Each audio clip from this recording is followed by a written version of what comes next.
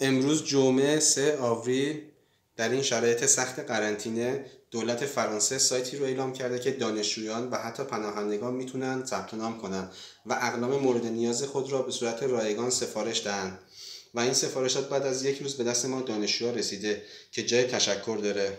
واقعا ممنونم. قابل توجه رژیم دیکتاتوری آخوندی.